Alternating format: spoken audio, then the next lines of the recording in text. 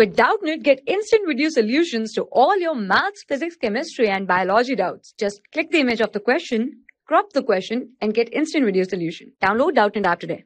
Hello students, today our question is which one is most stable to the heat? ABCD options are given here. So we have to choose the correct option. So the solution of this question is we know that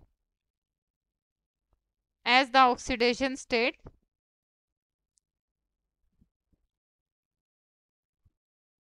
of the central halogen of the central halogen.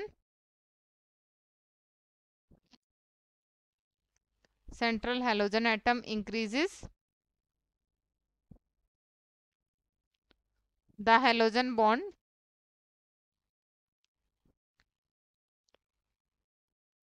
Becomes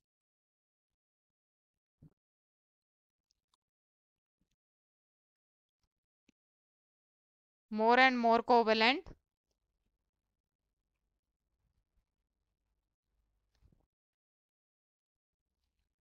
As a result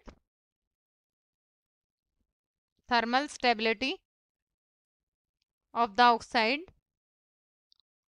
increases oxo acid so this is oxo acid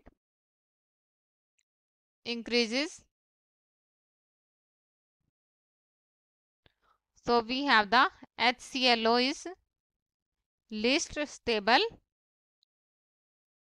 to the heat whereas HClO4 is more stable or we can say that most stable out of these most